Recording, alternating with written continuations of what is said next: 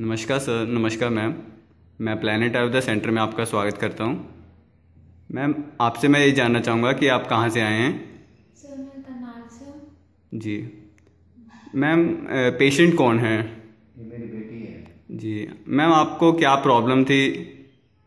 Sir मेरे को ulcerative colitis था। जी। साल से। जी जी। मैंने पहले एलोपैथी टैबलेट्स खाई हैं। जी। और डॉक्टर्स को दिखाया तो मुझे कोई आराम नहीं आया। बल्कि मैं डर गई थी एलोपैथी दवाइयों से, उसके ट्रीटमेंट से। मुझे कोई आराम नहीं आ रहा था। बहुत थकावट फील होती थी। ब्लडी स्टूल्स आते थे वॉमिट होती, हो जाती थी। बार बार मोशंस लग जाते थे।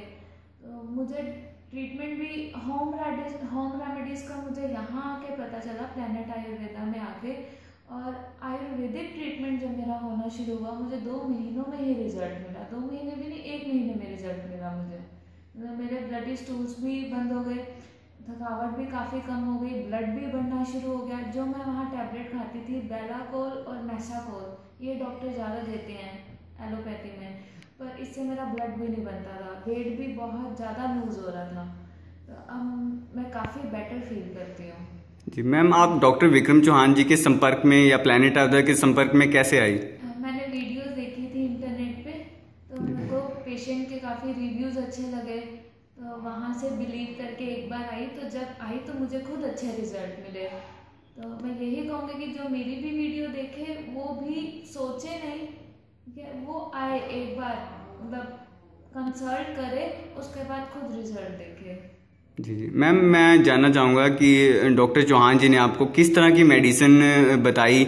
कुछ आप बता सकती हैं अपनी मेडिसिन के बारे में? हाँ जी उन्होंने पहले मुझे वैसे मैं कहूँगी प्लेनेट आयुर्वेदा बहुत हेल्प करता है। मैंने पहले मेल के थ्रू ही उन्हें अपनी रिपोर्ट सेंड करी थी और मेल के थ्रू उन्होंने मुझे ये वाले ये वाली मुझे टैबलेट्स भेजी जी जैसे कि वत्सक आदि चूर्ण कुटस घनवटी Pitta balance and Arjuna capsules हाँ जी। जी ये बेसिक ट्रीटमेंट रहता है अल्सरेटिव कोलाइटिस के पेशेंट्स के लिए। हाँ जी पर मैंने जब डॉक्टर से कंसल्ट करा उन्होंने मेरी प्रॉब्लम प्लस जो भी उन्होंने और चीज़ें एनालाइज करी उसके अकॉर्डिंग थोड़ी बहुत चेंज करी टैबलेट्स जी जी। जो मेरे लिए ज़्यादा बेटर है। जी जी। तो वो है ये वाली जिससे मेरा ब्लड भी बढ़ा जी जैसे कि मैं देख पा रहा हूँ इसमें जो भी मेडिसिन है सभी फीमेल हेल्थ के लिए हैं और कुछ कूलिंग इफेक्ट्स की मेडिसिन हैं आयुर्वेदिक। हाँ जी इस और इससे आपका ब्लड भी इंक्रीज हुआ होगा। और आशा करता हूँ आपको काफ़ी रिलीफ मिल रहा है अल्सरेटिव कोलाइटिस डिज़ीज़ से। और डॉक्टर ने मुझे बोला था नारियल पानी पीने के जी हाँ मैं यही जानना चाहूँगा कि आपको क्या डाइटरी चेंजेस के लिए विक्रम चौहान जी ने बोला? मैं दूध लेती थी मुझे लगता था मैं ठीक होंगी मेरे में वीकनेस ज़्यादा आ रही है। जी, जी। दूध इस प्रॉब्लम के लिए तो बिल्कुल एनिमी है।